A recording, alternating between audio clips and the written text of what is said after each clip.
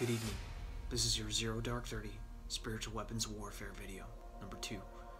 Tonight we're going to talk about prayer.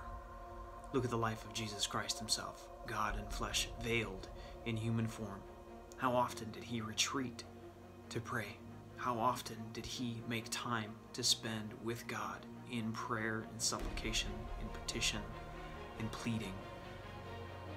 As such, our life should be the same or should be framed up in such a way that we pursue prayer in the same fashion as Jesus Christ himself did.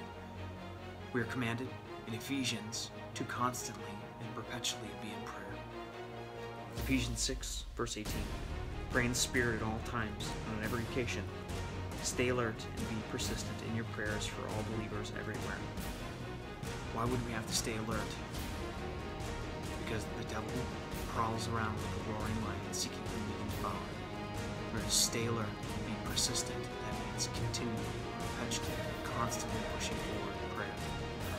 If you feel like you're under some kind of spiritual oppression, if you're fighting for your spiritual sanity, you should be fighting on your knees.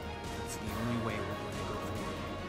It's fighting on our knees in prayer, giving to the God who can handle all things, the creator and sustainer of all creation, the one who allows you to breathe now, and the one who allows you to.